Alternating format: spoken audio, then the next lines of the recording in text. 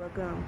So I am going to give you a tour of my patio garden and yeah, so it's not really much here, but yeah, we have more like at um, John's grandma's. So here's the apartment patio tour. It's not all that great, but you'll see. I'll explain to you what I have here. My dog. Yeah. So these are um, some flowers I got. I know they get really big. Um, I really don't remember the name of them, but these are them.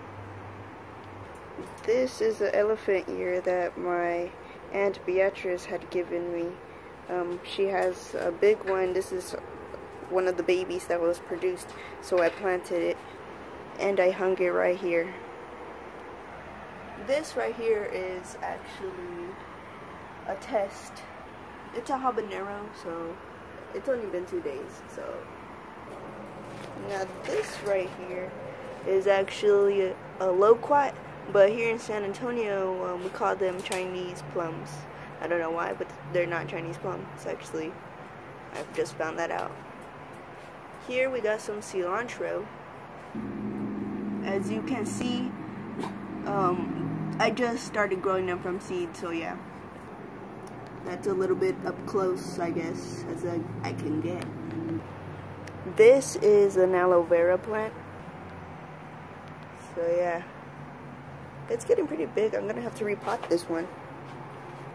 That is a loquat, loquat lemon drop. And we have some more lemon drop up there. I will insert a picture.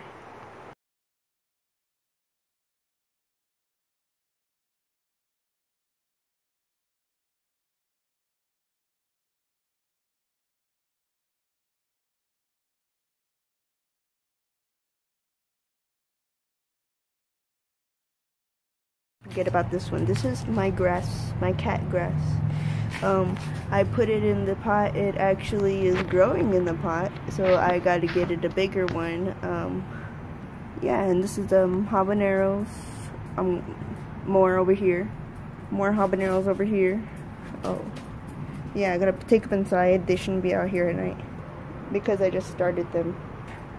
This is a bell pepper and as you can see um, one of the flowers is already coming off and that there's already some bell peppers are actually growing there. And last but not least this is my palm tree.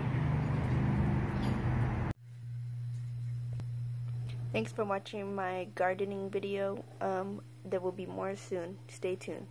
Bye